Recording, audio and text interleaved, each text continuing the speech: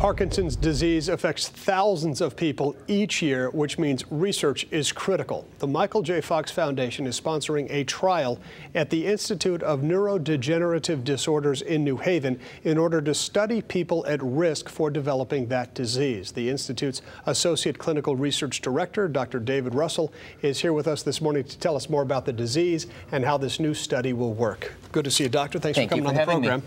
So tell us about what you're doing, you're looking for thousands of people to take part in this study, right? Yes, I am.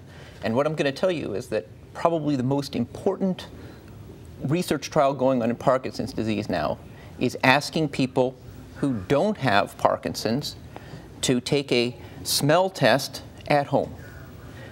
And I'm going to spend the next few minutes to sure. you why that makes sense. Well, and you brought a smell test. Why don't I you did. show us uh, what the smell test is while we're talking about it? Okay. Okay. So this would be the part we're going to invite people to contact us, and we'll give you the website and the phone number. And what we'll send is a questionnaire and a smell test like this. So it's a booklet. It's a booklet.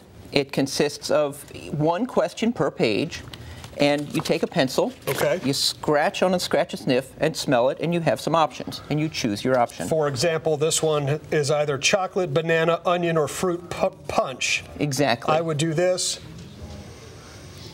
Boy, that's tough. They Uh -oh. are. Some are tough. Maybe you need me. Some are tough and some are easy. No one, just to stress, gets wow. them all right. Oh, no, no, they don't. They are designed to be tough so that we okay. can get the whole range. And that will actually help us to move forward with the Parkinson's research. Interesting. So, so the, if somebody wants to take part, what do they do? Okay, so they'll contact, like through the website or through the phone number of the study. And we will reach back out. We will send out, like I said, a questionnaire and a smell test. So this trial, this, it's called the PPMI trial. It's a Parkinson's Progression Marker Initiative.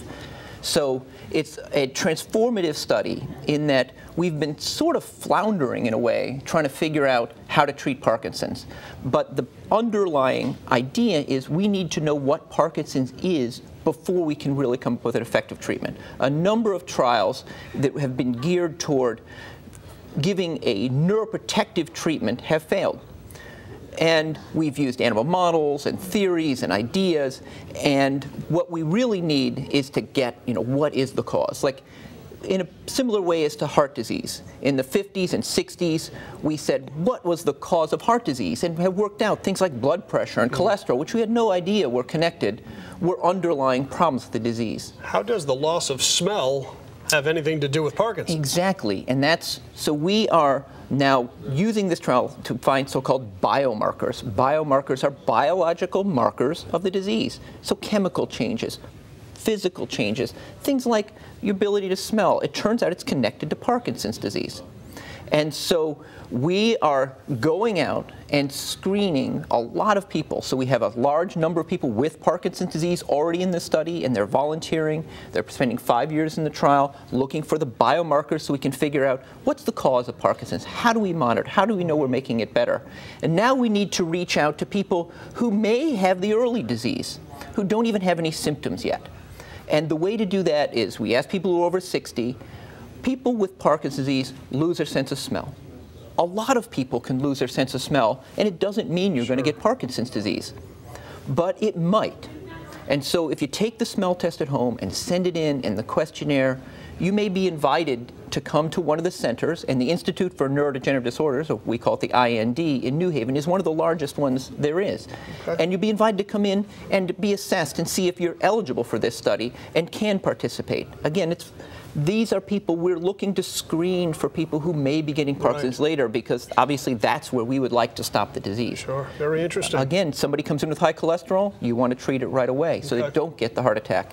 Somebody comes in with possible Parkinson's, you'd love to treat it right away, and we'd like to learn how to do that. Dr. David Russell, thanks for coming on the program. Thank we'll you very much. We'll put the information much. on our website, foxct.com and hopefully you'll get uh, enough people for the study, and maybe you can help them if they have uh, an, an, issue. Thank you very much. Yeah, appreciate it, Doctor. Okay. All right, still ahead for you right here on the Fox Connecticut Morning News.